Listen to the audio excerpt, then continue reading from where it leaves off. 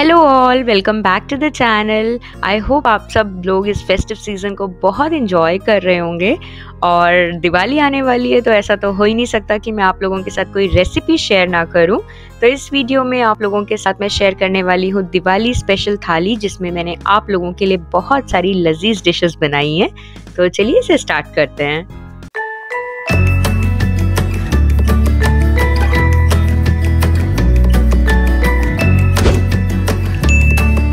अब मैं आपको दिखाती हूँ अपनी थाली की प्री प्रेपरेशंस आज कद्दू की सब्ज़ी बनाने वाली हूँ मैं तो उसके लिए मैंने कद्दू यहाँ पे चॉप करके रख लिया है।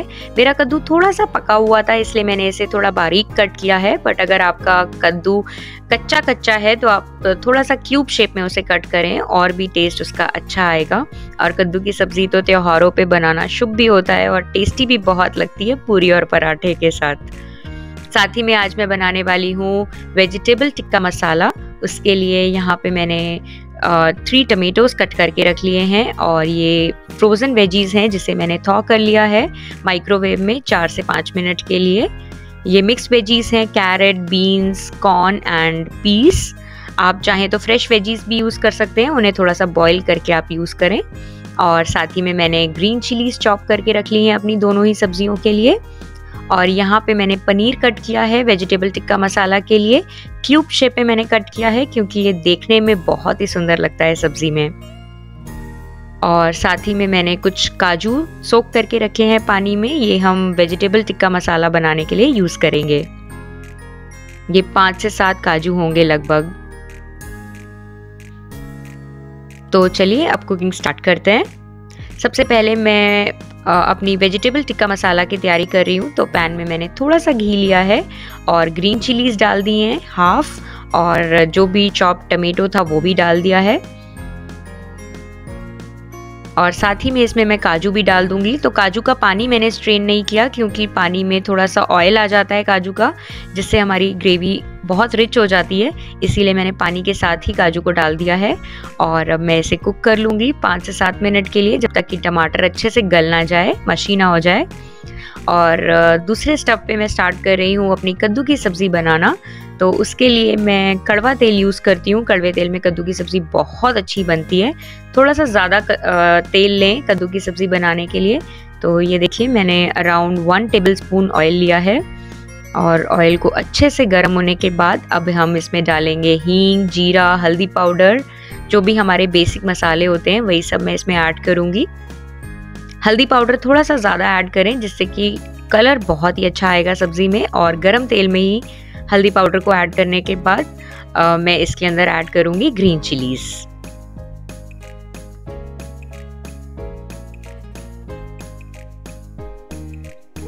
और साथ ही में मैं अपना टमाटर भी चेक कर रही हूँ तो टमाटर भी अच्छे से पक रहा है। और अब यहाँ पे मैं अपना कद्दू ऐड कर दूँगी।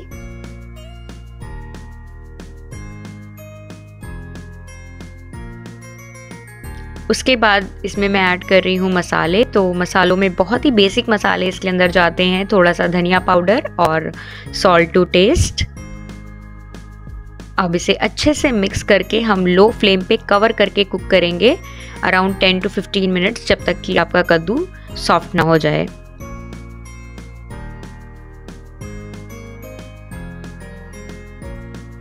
तो यहाँ पे हम अपना टमाटर भी चेक कर लेते हैं। तो देखिए, टमाटर अच्छे से गल चुका है। अब हम इसे ठंडा होने के लिए रख देंगे। उसके बाद हम इसकी प्योरी बनाएँगे।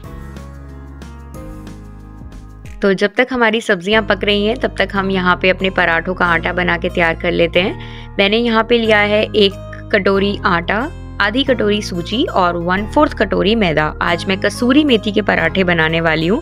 तो आप आटा, सूजी और मैदा का रेशो यही रखें, चाहे आप कितनी भी क्वांटिटी में बनाए पराठे। और अब इसके अंदर मैं ऐड करूँगी around one teaspoon ajwain and ढेर सारा कसूरी मेथी। कसूरी मेथी के पराठे हैं तो कसूरी मेथी थोड़ी सी ज़्यादा होनी तो बनती है ना? तो इस तरीके से क्रश करके आप इसके अंदर ऐड करें और थोड़ा सा इसको फ्लेवर देने के लिए सॉल्ट और रेड चिली पाउडर मैं ऐड कर रही हूँ। आप चाहें तो ब्लैक पेपर पाउडर भी ऐड कर सकते हैं, उससे भी बहुत ही अच्छा फ्लेवर आता है। और बस इसे अच्छे से मिक्स करते हुए मैं इसका एक सॉफ्ट सा डो तैयार कर लूँगी, जैसे हम नॉर्मल पराठों का या रोटी का डो तैयार करते हैं।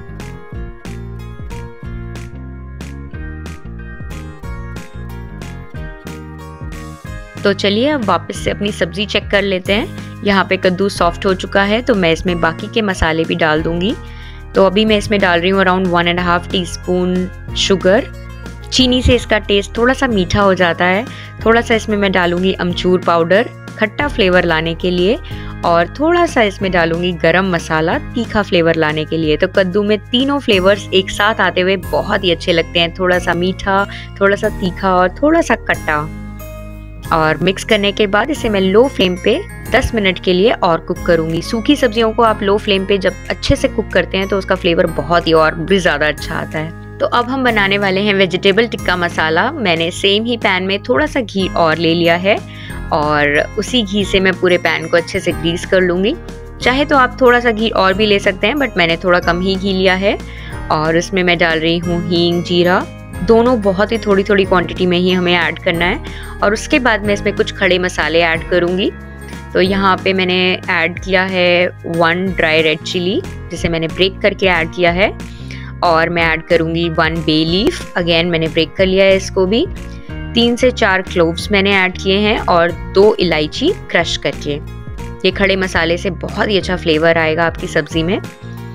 और बस मसाले को थोड़ा सा रोस्ट करने के बाद हम इसमें टमेटो प्यूरी ऐड करेंगे. तो अगर आपको इसमें रेस्टोरेंट स्टाइल फ्लेवर चाहिए तो इस तरीके से आप इसमें टमेटो प्यूरी ऐड करें, थोड़ा सा छान के. आज मैं डिफरेंट स्टाइल से ये वेजिटेबल टिक्का मसाला बनाने वाली हूँ तो देखिए मैंने इस तरीके से इसमें प्योरी ऐड की है। इससे आपकी जो ग्रेवी है वो बहुत ही स्मूथ होगी उसका टेक्सचर बहुत ही अच्छा होएगा और फ्लेवर एक अलग ही आपको मिलेगा।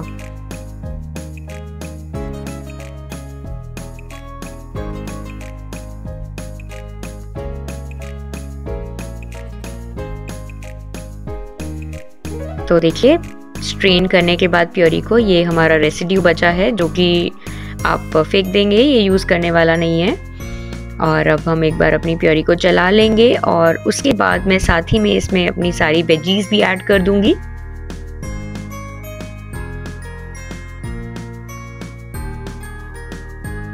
हमें इस ग्रेवी को बहुत ज़्यादा देर तक नहीं कुक करना है, क्योंकि ऑलरेडी इसमें टमेटोज़ जो हैं वो कुकड ही हैं। तो इसमें अब मैं मसाले ऐड कर रही हूँ। थोड़ा सा धनिया पाउडर और थोड़ा सा पनीर मसाला। और इसे भी अच्छे से मैं चला लूँगी। तो जब आपको लगे कि आपके मसाले अच्छे से कुक हो चुके हैं तीन से चार मिनट बाद, तब हम इसकी ग्रेवी बनाएँगे। तो ग्रेवी बनाने के लिए आप चाहे तो पानी यूज़ कर सकते हैं, चाहे तो मिल्क यूज़ कर सकते हैं, थोड़ा सा रिचनेस देने के लिए सब्ज़ी को। तो मैंने यहाँ पे मिल्क यूज़ किया है, ये रूम टेम्परेचर का मिल्क मैं यूज़ कर रही हूँ। और जब भी आप दूध डालते हैं सब्ज़ी में तो ध्यान रखें कि फ्लेम लो हो और आप चलाते चलाते इस तरीके से ऐड करें।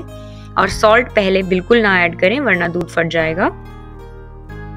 तो ये देखिए, मैंने ग्रेवी बना ली है। जिस, जैसी आपको ग्रेवी पसंद है, उतना आप इसमें मिल्क ऐड कर सकते हैं। वैसे जनरली इस सब्ज़ी की ग्रेवी थोड़ी सी थिक होती है और जब आपका दूध भी अच्छे से पक जाए, सब्ज़ी में मिल जाए तो उसके बाद मैंने इसके अंदर सॉल्ट ऐड कर दिया है। और साथ ही में अब मैं इसके अंदर पनीर क्यूब्स भी ऐड कर दूँगी। पनीर डालने के बाद सब्ज़ी को बहुत ज़्यादा देर गैस पे नहीं रखेंगे अदरवाइज़ पनीर हार्ड हो जाता है। बस चार से पाँच minute is more than enough paneer soft हो जाएगा इतनी देर में और फिर आपकी सब्ज़ी एकदम खाने के लिए तैयार हो जाएगी। ऊपर से गार्निश करने के लिए थोड़ा सा इसके अंदर कसूरी मेथी आप ऐड कर दें। एंड दैट्स अबाउट इट हमारा वेजिटेबल टिक्का मसाला एकदम बन के तैयार है सर्व करने के लिए। आई एम श्योर अगर आपने ये रेसिपी अपने गेस्ट के लिए बनाई इस दिवाली तो वो आपके हाथों का खाना खाकर बहुत तारीफ़ करने वाले हैं आपकी। और दिवाली है तो थाली कैसे कंप्लीट हो सकती है? कुछ मीठा बनाएँ। तो हम मीठे में आज बनाने वाले हैं सूजी का हलवा, जिसके लिए मैंने पैन में थोड़ा सा घी लिया है। और मैं ले रही हूँ आधी कटोरी सूजी अराउंड वन टेबल स्पून तो घी और सूजी का ये रेशो है कि मैंने जितनी सूजी ली है, उससे हाफ़ घी लिया है और अच्छे से लो फ्लेम पे चलाते चलाते मैं सूजी को रोस्ट कर लूँगी। सात से दस मिनट लग जाते हैं सूजी को रोस्ट करते करते। लो फ्लेम पे आप इसे रोस्ट करें चलाते चलाते। और जब ये रोस्ट हो जाएगी तो आपको एक अच्छा सा कलर और खुशबू आ जाएगी रोस्ट होने वाली। उसके बाद इसके अंदर मैं पानी ऐड करूँगी। तो जितनी हमने सूजी ली थी, उसी से नापते हुए हम थ्री टाइम्स पानी ऐड करेंगे। तो देखिए, मैंने आधी कटोरी सूजी ली थी। उसके हिसाब से मैंने डेढ़ कटोरी पानी इसके अंदर ऐड कर दिया है। और अब इसे हम चलाते रहेंगे। सूजी पानी सौंख लेगी और हलवा आपका बनके तैयार हो जाएगा। तो जब हमारा ये मिक्सचर थोड़ा सा थिक हो जाता है, उसके बाद मैंने इसके अंदर चीनी ऐड करी है। चीनी भी मैंने जितनी सूजी थी, उतनी ही ली है। इससे आपको परफेक्ट स्वीटनेस का फ्लेवर आप, हलवे में मिलेगा। और साथ ही में थोड़े से ड्राई फ्रूट्स डाल के हलवे को गार्निश कर लिया है।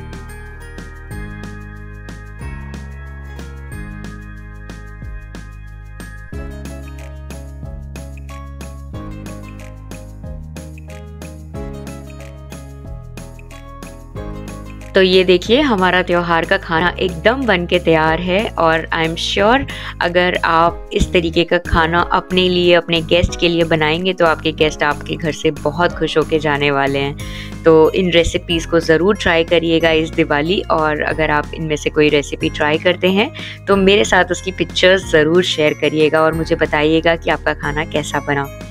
इस थाली को कंप्लीट करने के लिए मैंने बनाया है बूंदी का रायता और पापड़ के बिना तो हमारी कोई थाली कंप्लीट नहीं होती है तो पापड़ और अचार ज़रूर सर्व करिएगा। तो यहाँ ख़त्म होती है आज हमारी त्यौहार की थाली। उम्मीद करती हूँ आपको ये वीडियो बहुत अच्छी लगी होगी। अगर अच्छी लगी है तो प्लीज़ इस वीडियो को अपना प्यार दीजिएगा, लाइक करिएगा, शेयर कीजिएगा अपने फ्रेंड्स एंड फैमिली के साथ।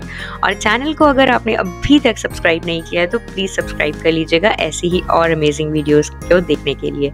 फिर से मिलेंगे एक और नए वीडियो में। तब तक के लिए आप ढेर सारा अपना ख्याल रखिएगा, खुश रहिएगा और इस थाली को आप मेरी तरफ़ से अपने लिए ट्रीट समझिएगा इस दिवाली की। Thank you so much love you all. Bye bye.